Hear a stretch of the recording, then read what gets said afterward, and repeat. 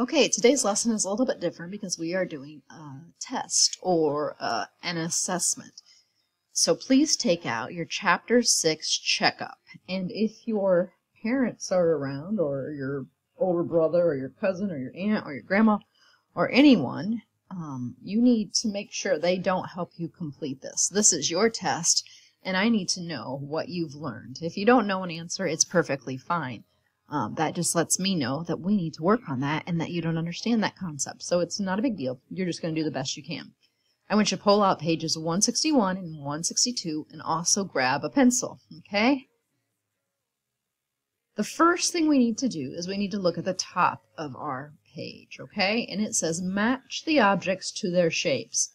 So, number one, they've given me a sphere. Number two, they've given me a cube. And number three, they've given me a cylinder. And I need to find objects below here that match. And I need to draw a line from the object on top to the object on the bottom that matches.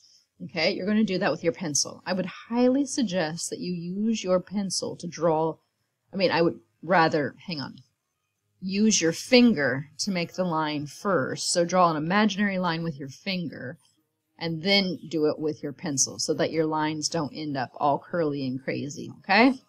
So you're drawing a line from the shapes to objects that match them below, okay?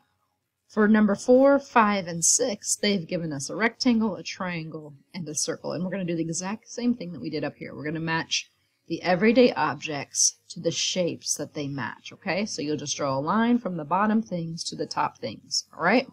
That's real basic and it shouldn't be a challenge at all. All right?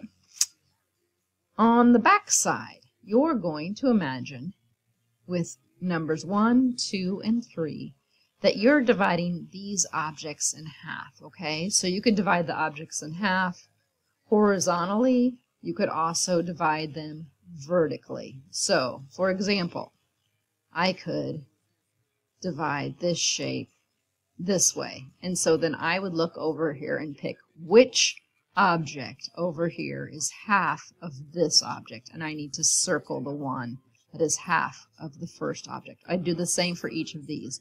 I'm going to draw a line of symmetry. I'm going to divide them in half and figure out which shape on this side is half of this shape over here. And then I'll circle it, okay? If you need to draw a line with your pencil to give you a better idea of which shape it would be, feel free to do that. Okay.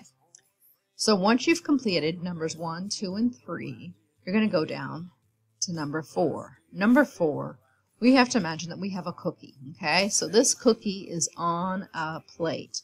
It is a gingerbread man. He has his tie. And I'm going to flip this guy over. So which object would I get if I flip him over?